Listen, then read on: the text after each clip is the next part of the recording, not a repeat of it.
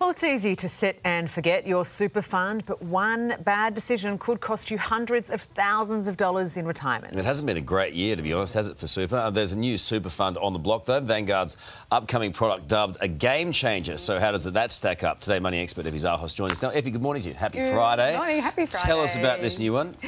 Well, look, is it a game changer? They've launched it this morning, so this is hot off the press, and everybody has been waiting to see this. The interesting thing is, I found the research that's come out first, so let's touch on that. One in two of us don't know how much we're paying in fees. That doesn't surprise me. I know Aussies are a lot more savvier when it comes to super. They're interested in it, but the finer details were unsure. And two in five are actually unsure what fees. All I know paying. is my super fund uh, Yep. lost a truckload this year, plus I paid fees.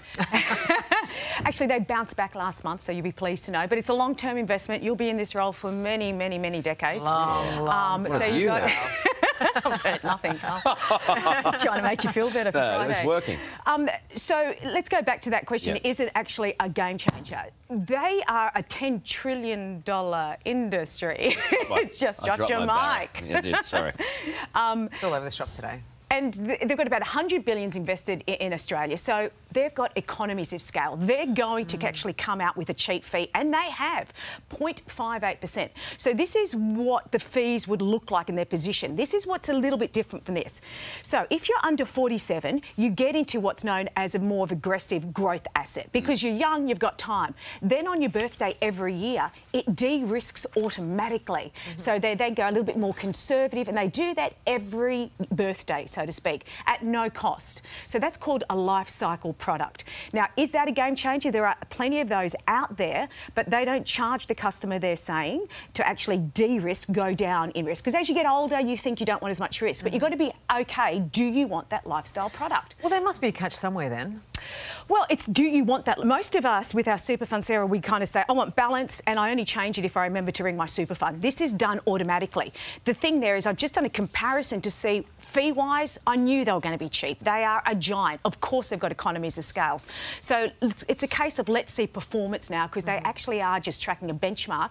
Unlike a lot of industry funds that track infrastructure, they're not doing that. What does that. that mean, that um, average fees percentage-wise? Is that Uh, percentage of your 0.5% total? of your ba- your balance. So I showed you the figure up there. It's qu- it's very low, Carl. Okay, yeah. It's very low. Um, we've been talking about um, tweaking super tax con- um, sessions all this week too. Mm. It looks like Labor are going to try and do that. There hasn't been much blowback from anyone.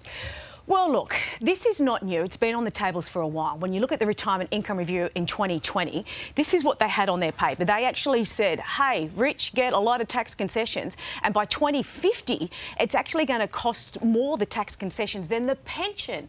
So, and I'd like to say that's because more of us will be able to live off our super, but it's because the rich get a lot of tax concessions. Mm. 15% on money going in, Yeah. 15% on the earnings, and then potentially tax free. So that's very general. They're touting about a $5 million figure. Now, it's in the industry of the, it's in the interest of the super industry to save $5 million because that keeps it in the system. I personally think that is a lot of money. Yeah. Even Australian super, I was lucky enough to go to the fin Review, Financial Review Wealth Summit. Even the uh, Australian super CEO said, you have 5 million in your super, you'll have 325,000 tax free out. Come on, guys. Yeah. That's more than enough. So let's go back to what is the purpose of super. Yeah. Is it a tax minimisation strategy for the rich, or is it to actually give you a digni- dignified retirement? And then if I'm on a low in- uh, income, I want to see some of these concessions go back to low-income earners. All right, there you go. I agree with you completely. You Thank so probably want the tax Brand new- concessions. Brand new hour right here on Thanks, Today. Effie. Well, after seven consecutive months of hikes, there is hope this morning the Reserve Bank could opt to keep the official cash rate on hold when it meets next month. Here with more is Scott Phillips from Motley Fool, one of the greatest names for an It is a great organisation.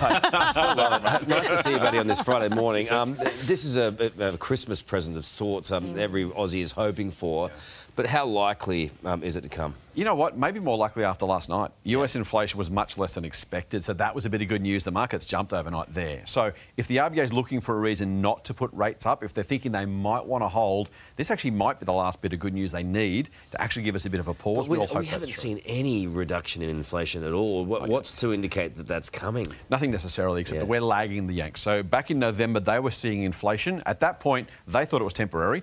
And the RBA said, well, maybe it's just a US problem. Maybe it's a mm. global issue. Maybe it won't hurt us here. We know 12 months later that was a mistake. There is some hope that we will follow. These are mostly global pressures. So mm. if we can get that to come down the pike to us here, again, we'll probably go up before we come back down. But if the RBA is reading the tea leaves, they might say we've done enough, hopefully, maybe. We can uh, just pause for a little bit and see what happens next. Mm. Because that's the thing, isn't it? There's been a lot of criticism that the Reserve Bank has been too aggressive lately. Mm-hmm. Do you think they're starting to recognise that potentially? Not sure about them being too aggressive. They've had to, they were probably too late in moving in the first place. So it's one of those things when you realise you're leaving home late, you've got to get to work quickly. Mm. You're going to have to drive faster to get there, right? Not over the speed limit, but you have to drive faster to get there. That's what they've had to do, right? They've had to really put the foot down. Hopefully, they've got to that point where they feel like we've done enough. We're back on time to mm. torture that analogy. Uh, if that works, if they can do it, then yeah, I think they've probably gone as hard as they need to. Hopefully, and hopefully they can. Well, they stop. stuffed it up from the start. I Yeah. mean, let's face it. And even the Senate inquiry yesterday, um, some of the questioning around that, Yeah. that they're kind of admitting to it, even though they, they did say the forecasts were economy related. Anyway, long term, how do how do we expect rates will go? Uh, again, hopefully better than I thought. I actually thought they might go up another three quarters of a percent next year. I'm hopeful now maybe we might see even only a quarter of a percent. If that inflation number can continue to moderate in the US, maybe stall out here under 8 or just on 8%, we might get away with only one more. I dare say one's probably a lock, two to three if things get worse. But probably that's, I hope, about as much as we'll get. And hopefully by March or April, we'll see the peak and then down after that if we're lucky. Just mark that down in the books. You're on the I hope, record. not a prediction, I hope. Yeah, they're hot property. Well, we're going to tell you what. You're the not allowed to have any about. because they're all mine. I've already. They were, that pile was huge, and I've eaten. Well, it's actually they're actually very rare and very expensive, They folks. are. We're about to explain. Thank you, Brookie. Yes, that's true. We have had a lettuce shortage, a milk shortage, and even an egg shortage. But the latest food supply crisis is arguably the worst. It's worse, Carlos. yeah. It's a chip shortage. Um, that's right, folks. Our favourite potato snack is in jeopardy as farmers struggle to recover from recent floods. With more, we're joined by the Vice President of Horticulture at the Victorian Farmers Federation, Catherine Myers. Catherine, good morning to you. It's not such a good morning, is it? Uh, no, no, we had a fair bit of rain again last night. It's, uh, it's a season that just keeps giving. Well, it doesn't. It's just awful and terribly debilitating for farmers. How significant is the damage and, and how long is it going to go on for? Look, the damage hasn't been too bad here. We're quite lucky. The, the, the rains come, the water comes, and then the flood water disappears quite quickly. But the challenge we're having at the moment is just the ongoing wet weather.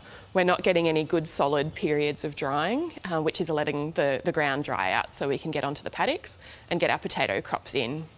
And Catherine, how long do we expect this to last?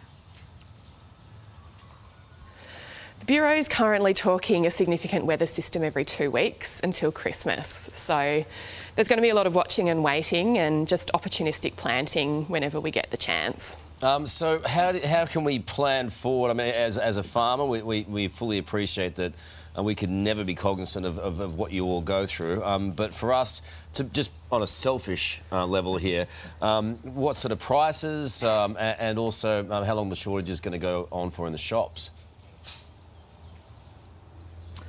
Look, it 100% depends on the weather. The farmers on the ground are doing a phenomenal job trying to, to get everything they can done ASAP um, and getting little bits of crop in whenever we get a couple of dry days.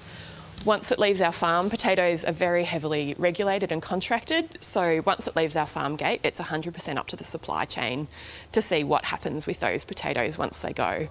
I do know normally we'd import product from Europe, but they've had a really dry summer as well, so they don't have the kind of surpluses that we'd normally rely on. Uh, so yeah, it's a, it's a very much a watch and wait um, season this year. And, and do we know how many farmers are hurting right now?